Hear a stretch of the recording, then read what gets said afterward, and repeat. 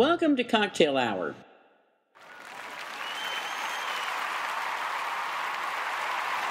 I'm Andy. And I'm the Rev. Before we get started on this enterprise, let's make a drink. Ah, better. We started this podcast initially to babble on about books and fanfic we've read recently. That, of course, progressed to why don't we chat about what's going on in the lesbian community? Then another thought, well, why don't we move forward at some point and have guests? Maybe a few brave authors or readers. Cool, huh? So let's get started. With this inaugural broadcast, we're going to chat about Cooking on High by Creme Brulee, then segue to Seduction of Moxie by Colette Moody. So we're going to start out with Cooking on High from uh, Creme Brulee, which is by far one of my very favorite fan fictions. I recommend it all the time. The basic premise of the story is we have French, who is a world class French chef, who's been accused of murder she and one of her employees, Violet, Fry, Spark, work together to try and figure out who actually committed the murder. In the meantime, we have a slew of really entertaining characters, a very well written mystery, and a lot of fun. It's got great, great humor. It's it's a true Xena Uber we have the we have French, the Xena character, who is a despicable, devious, cutthroat French chef who will do anything to come out on top in any situation that she's in.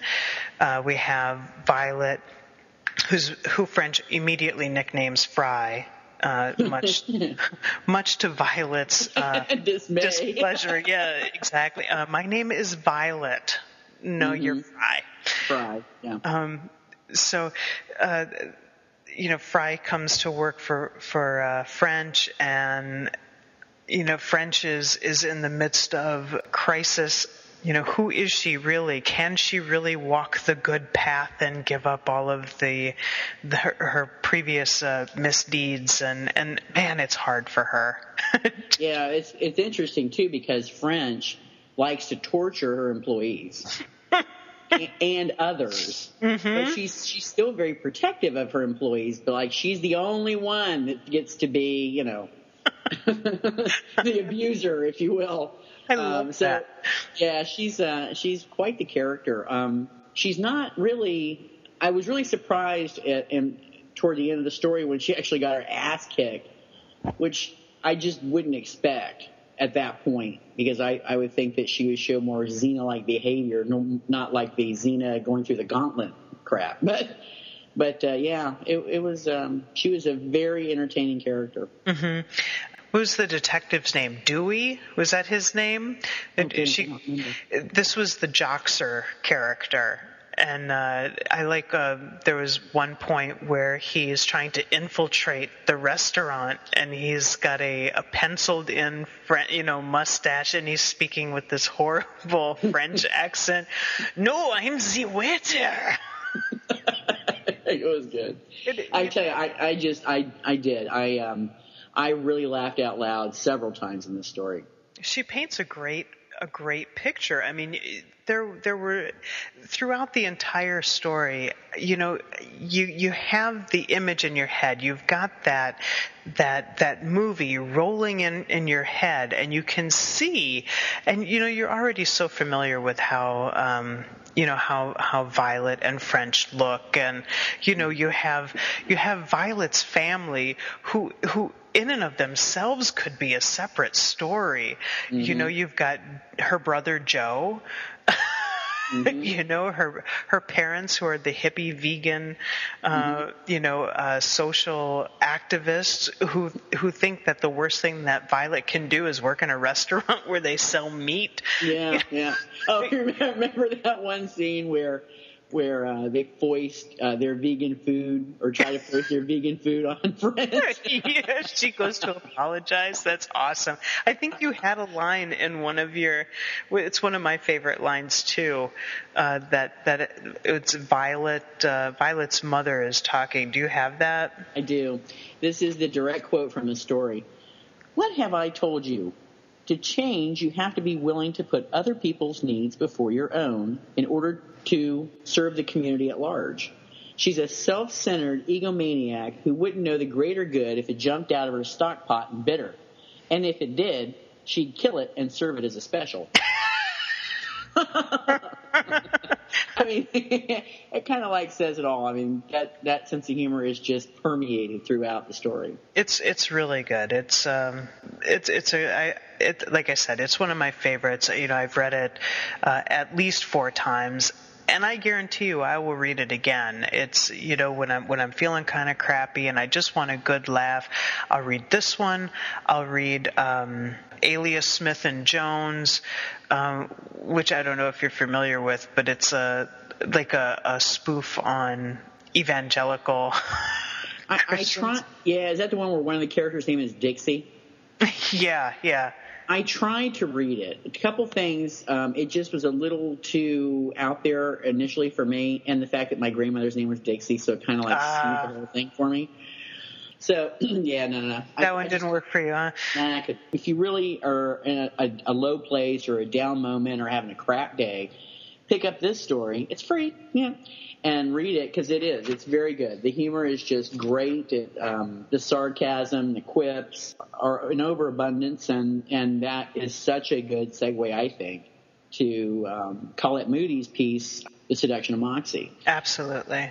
The interesting thing about reading these two stories is that uh, both you and I thought that this whole whole body of work was Colette Moody mm-hmm. because Cooking on High had it's like Colette Moody light. And uh, if, if you, the listener, get a chance to read both of these, I would be interested in what you think. Mm-hmm.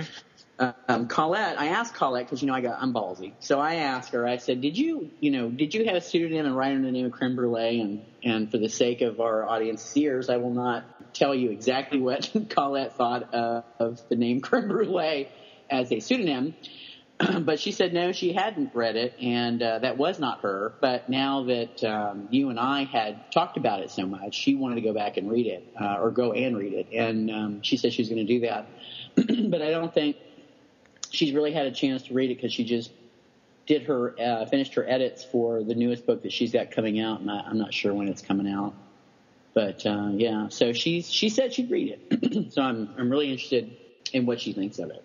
But her book, The Seduction of Moxie, is I think the second book that she wrote. Uh, her first was the Sublime and Spirited Voyage of Original Sin. Uh, that was a, a, serious piece of work, but it did have her sense of humor come out. Oh yeah, to, to play, but not nearly as much. It but, wasn't, you know, it wasn't, uh, it had a lot of humor in it, I thought, but it, it was a completely different kind of humor. Seduction of Moxie is just totally raunchy. Yeah. and, you know, and very, you know, very dirty. Original Sin like you said, it, it, did. It was a bit more serious. You know, it had more serious themes in it. I think. Yeah. Um, yeah it, you know, it, that was good too. Yeah. Well, for our listeners, The Seduction of Moxie is a period piece, and let me tell you, I'm a hoe for period pieces. I love them. This is a period piece that uh, happens in the 30s in New York City. I decided that I'm going to read the little blurb on the back of the book, and then we can talk about it because I know I'll just leave something out. Anyway, the story opens up or takes place in New York City, and as the Rev rightly reminded me earlier, that it's New Year's Eve. It's um, going to be 1931 uh, when wry Broadway actress Violet London and her hard drinking cohorts venture into a speakeasy the night before she is to board a train for Hollywood, she is floored by sassy blonde singer Moxie Vallette. As Violet introduces Moxie to an assortment of bootleg liquor, cross dressers, and sex shows, she vows to find a way to see her again. Moxie is fascinated by Violet in a thrilling and unfamiliar way and the ensuing evening of bon mots shameless flirtation and illicit revelry is unlike anything she has ever experienced. From Manhattan to Los Angeles, both women's lives are turned upside down by separation, unscrupulous motion picture studio executives, self-serving agents, eccentric celebrities, and the collection of hedonistic reprobates that are, that are their closest friends. In the beginning, all our characters meet when Violet and Will go to a nightclub and hear Moxie singing, and they're so spellbound, enjoy it so much they invite her over to their table after her sets. The poor thing doesn't drink, but she gets plied full of alcohol and winds up going to these crazy places. That's one way to put it. They're not flop houses. What does Colette call them in the book? I can't remember. Uh, um, I, I don't recall. They're they're essentially house parties. Yeah, you know, two fingered flossies. that was my favorite one. Oh lordy! I'm just gonna say, mm. asshole.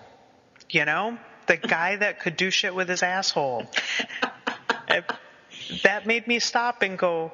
Oh. Smokey Bender. Oh, is that? that was Smokey Bender. Yeah, that's right. I knew I needed to go to Cafe Press so I could so I could catch up on my.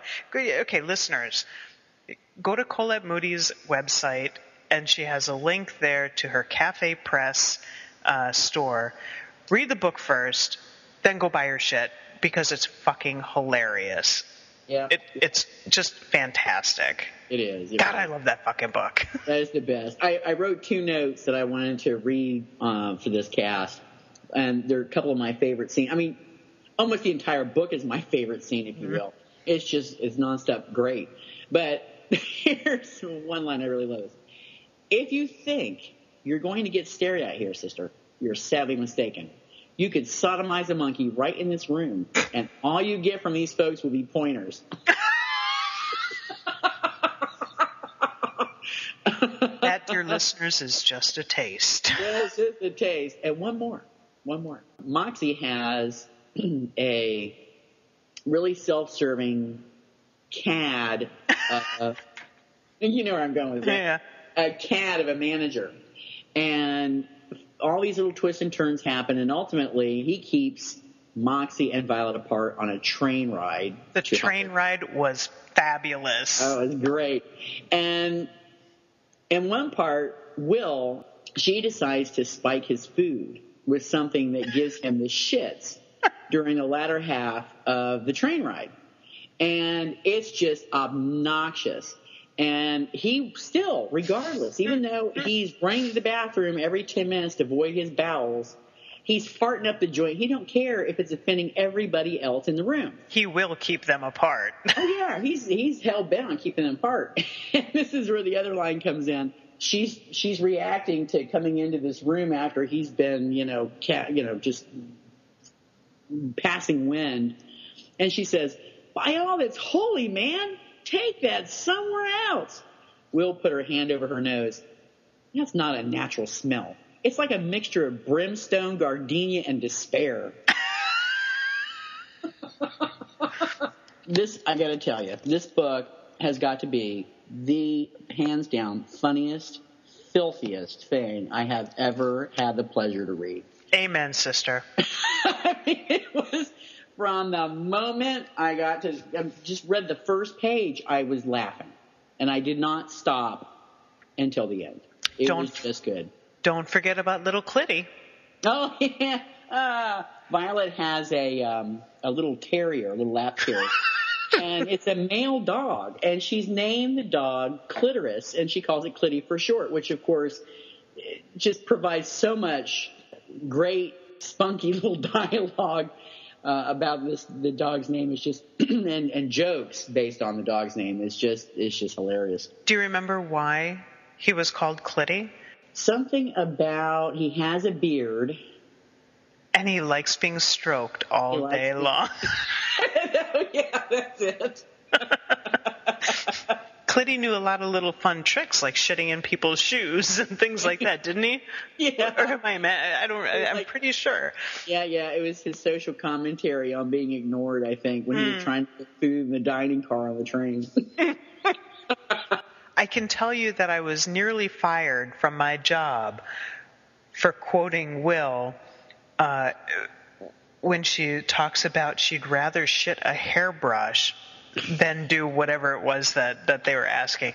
I, I went in, I had just finished the book. I'm sitting in a meeting with this very, very Christian woman and someone else who knows me pretty well. and they are asking me for something, and I just looked them both right in the face, and I said, you know what? I'd rather shit a hairbrush. you say with a straight face. And I did. And, you know, as soon as I, I saw their reaction, I said, oh, damn it, I cannot read Colette before I come to meetings. Yeah, that's a bad idea. You could have saved yourself and said something like, oh, gosh, that was my inner voice coming out. Oh, oh man. I mean, I just, I, I, I just have never read anything quite like this in my life. It was just really good. Jam packed with hilarious one liners. You know, you can pick that book up at any point, open it up at any point, and there mm-hmm. will be something on that page that will make you laugh out loud. It's I true. guarantee it. Guarantee it. Uh, we don't have anything to give you if you prove us wrong, but I'm pretty sure that that's almost 100% accurate. Great story. It's hilarious. Uh, I believe. I believe. Uh, I put it as hilariously filthy. I mm-hmm. think. It, I think it was, um, which Colette enjoyed. Yeah. And, yeah. She said you know, that's what she was going for. With a with a name like Cocktail Hour. you know we'll be able to get her come on and talk to us for a little bit. Oh yeah, I'm hoping. Spend the money, get an ebook, get one in print, whatever you do, you've got to get this book. Absolutely. I, I agree 100%. percent mm hmm And then hopefully maybe we'll have Colette on and she'll tell us how she liked cooking on high. You know, I would like, I would actually like to know that. Do you know, I, w- I was speaking with a, a mutual friend and I had mentioned to her that you and I both felt that Creme Brulee and Colette Moody had very similar styles and senses of humor, and she disagreed.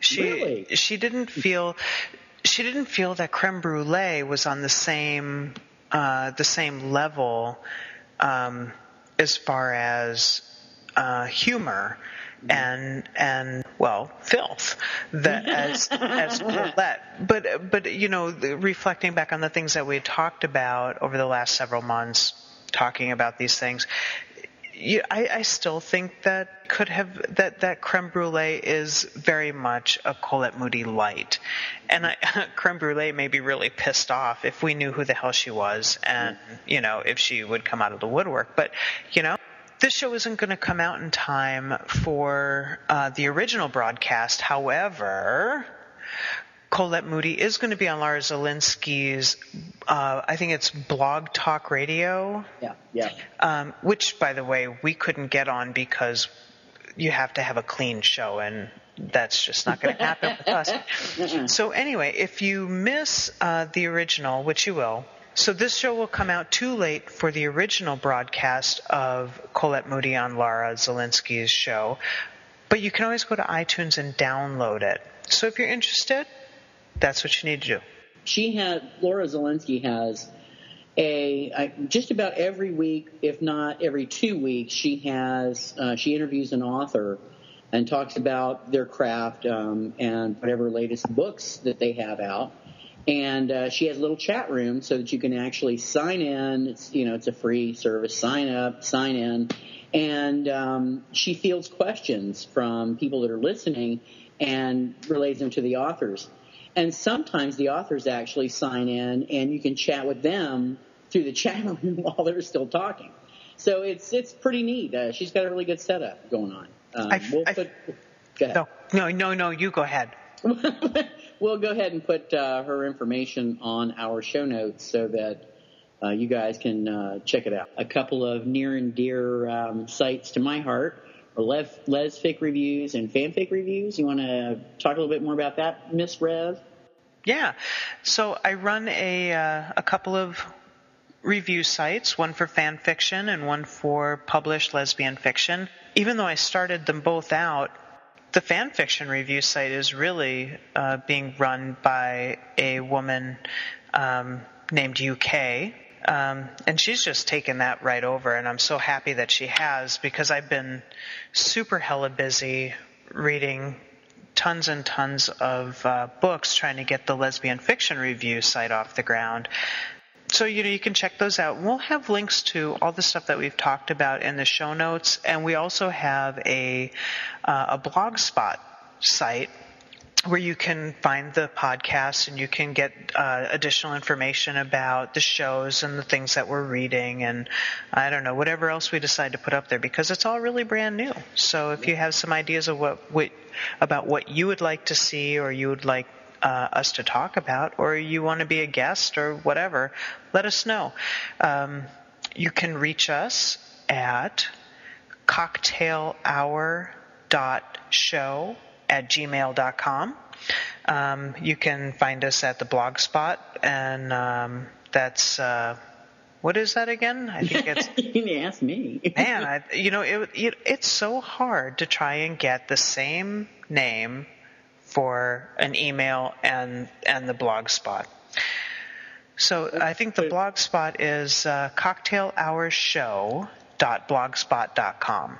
Yeah, but we'll put it in the show notes. Yeah, it'll all be there. The review sites you can um, you can get to it's lezficrev L-E-Z, uh, .blogspot.com or fanficrev.blogspot.com. Um, and if uh, I'm sure you'll be able to find plenty of stuff that, that you haven't heard of before that you might want to read through there. Um, you can always catch us on Facebook too. But uh, this is the this is the new thing, and, and we're kind of excited about it dear listeners, why don't you uh, be sure to send us uh, an email or and let us know how you like the show. Uh, any any suggestions you'd like to make? I mean, we are thinking about guests at some future point.